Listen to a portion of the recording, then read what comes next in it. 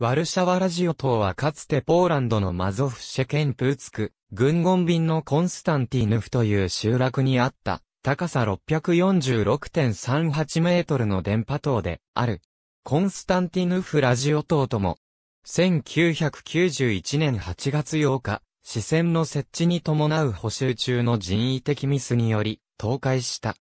東京タワーのような自立型の塔ではなく、三角柱の鉄塔を三方向に設置された視線の張力で固定する方式の塔であった。地元の建築家であるヤン・ポラークの設計により1970年7月に建造開始され、1974年5月18日に完成、同年7月22日に送信を開始した。その総重量は380トン、420トン、550トン、660トンなど、諸説ある。ワルシャワの放送局の 227kHz の超波放送のために使われ、受信可能地域は欧州及び北アフリカの全域であった。はしごとエレベーターを備えていたが、エレベーターの速度が分速21メートルのため、最上部に登るには30分を要した。アラブ首長国連邦のドバイにあるブルジュ・ハリーファが建築中の2008年5月19日に649.7メートルに達するまで人工建造物としては史上最高の記録を保持していた。1991年8月8日、ラジオ塔に貼られた5段階の高さの視線のうち、一番高い位置にあるワイヤーの交換作業中にミスが発生。これによって鉄塔から3方向に貼られた視線の張力のバランスが崩れ、鉄塔は中ほどから曲がり、最終的には折れてしまった。なお、送信機の建物には損傷はなく、また作業員は避難していて、怪我人は出なかった。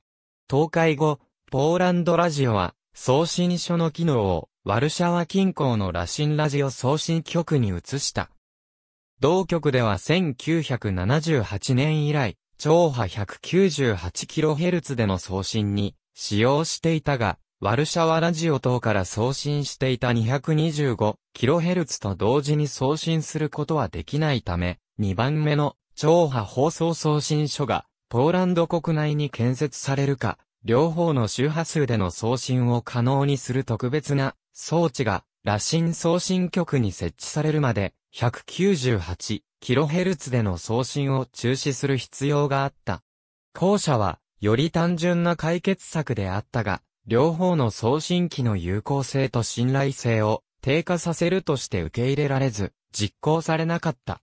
ポーランドラジオの超波放送は、海外のポーランド人にとって特に重要であるため、1992年4月には、早くも、ポーランド政府は、ワルシャワラジオ等の再建計画を公表。1995年9月には、再建工事に入った。再利用可能な古い基礎の改修は、すでに始まっていたが、マストからの放射線による健康被害を主張する地元住民の抗議により、再建は中止された。これらの主張の正確性は検証されていないが、新しい送信所の設置が求められた。いくつかの場所が検討されたが、結果的にソレツクヤフスキーのすぐ南東にあるポーランド軍の軍事施設跡地が選ばれた。